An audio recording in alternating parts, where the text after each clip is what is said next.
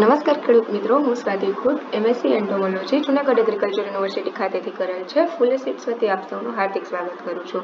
હવે રાયડાની ખેતી વિશે આપણે ચર્ચા કરી છે, તો જીવાતની અંદર આપણે જોઈએ કે આગળ જીવાત આપણે જોઈએ, મોલો મસી.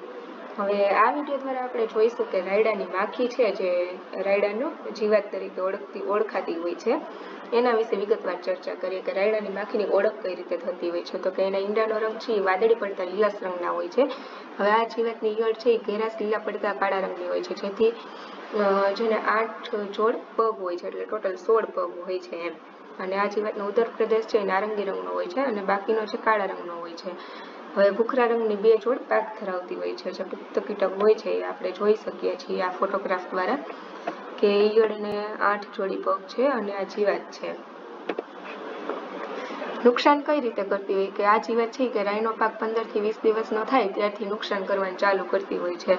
એટલે આ ઈયળ છે તો એને અડો તો ગૂંચડું વળીને પડી જાય છે એટલે મરવાનો ઢોંગ કરતી હોય છે. એટલે ઇંગ્લિશમાં આપણે એને મસ્ટર્ડ સો ફ્લાય તરીકે ઓળખવામાં આવે છે. આ જીવાત ઈયળો છે, પાંદડામાં ગોળાકાર કાણા પાડી નુકસાન કરતી હોય છે. અને વધુ ઉપદ્રવ હોય તો છોડના બધા જ પાંદડા ખવાઈ જતા હોય છે. આપણે આ ફોટોગ્રાફ દ્વારા જોઈ શકીએ છીએ કે આ ઈયળના ઉપદ્રવથી કેટલું નુકસાન થતું હોય છે. આ રીતે આપણે પાંદડા છે તો ઝાડી જેવા થઈ જતા હોય છે. હવે રાયડાની માખીનું જીવન ચક્ર કઈ રીતે ચાલે છે? એના વિશે આપણે થોડી ઘણી ચર્ચા કરી લઈએ. તો કે ઈંડા, ઈયળ, પોસેટો અને પુખ્ત અવસ્થા હોય છે, ચાર અવસ્થા હોય છે. હવે તે ઈંડા ક્યાં મૂકે? કે પાંદડાની જે વચ્ચેની કિનારી હોય, એની બાજુમાં ઈંડા મૂકતી હોય છે અને છ થી સાત દિવસમાં ઈયળમાં ફેરવાઈ જતી હોય છે.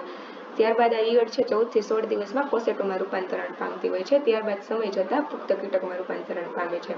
આ રીતે રાઈની માખી છે તો એનો જીવનકાળ લગભગ પિસ્તાલીસથી પચાસ દિવસનો રહેતો હોય છે. આપણે જોઈ શકીએ છીએ જીવનચક્ર. હવે આપણે એનું નિયંત્રણ કઈ રીતે કરવું જોઈએ તો એના વિશે ચર્ચા કરીએ. કે સૌપ્રથમ જો આપણને થોડા પ્રમાણની અંદર જીવત દેખાતી હોય, તો શરૂઆતમાં એનો ઈયળનો હાથેથી વીણી આપણે કેરોસીન વાળું પાણી હોય એની અંદર નાખીને એનો નાશ કરી શકો છો.